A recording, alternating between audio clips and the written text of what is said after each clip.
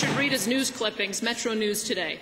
Mr. Speaker, yesterday in question period, I asked some specific questions about the availability and pricing of two drugs delisted by Alberta Health as a result of the minister's generic drug plan. Mm -hmm. A commonly prescribed painkiller, and triamcinolone, used to treat arthritis, asthma, and lupus. Now, the minister declared there'd be no problem getting these drugs, that there were multiple suppliers.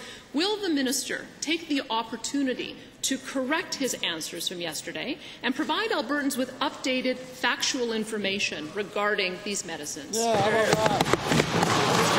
Mr. Speaker, what I will take the opportunity to do, is apparently it wasn't sufficient yesterday, is to inform or attempt to inform the honourable member about the process for drug listing in this province. Mr. Speaker, like most jurisdictions across the country, drug companies present pricing on a monthly basis to government.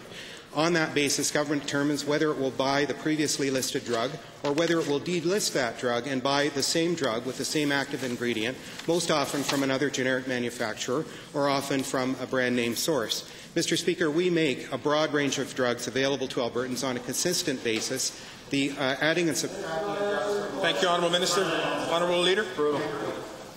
Mr. Speaker, after question period yesterday, Alberta Health was scrambling to fill some of the gaps in their new list of approved drugs. They tweeted they'd made a mistake on penicillin oh. and had to relist a drug called Apopen. Oh, so we were right. Now, on April 1st, the price of Apopen penicillin jumped from about $7 to just under $19. That is two and a half times more expensive.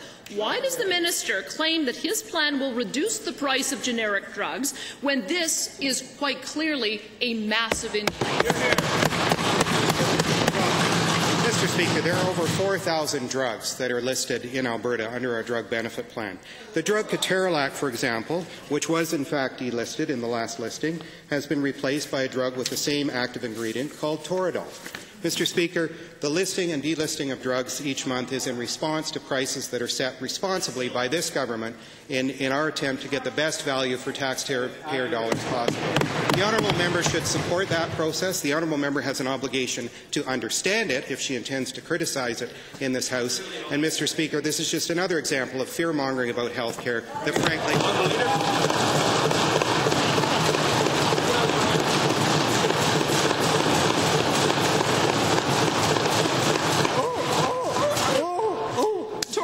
the more expensive brand name drug, isn't it, Mr. Minister? Yeah. Mr. Speaker, the same drug company that I mentioned, its price list shows new prices for about 15 generic drugs, all with significant price increases. Double, triple, and in one case, 340% higher than last year. When will the minister admit that his poorly conceived plan for lower drug prices is actually resulting in Albertans paying higher drug prices out of their own pockets? Hear, hear.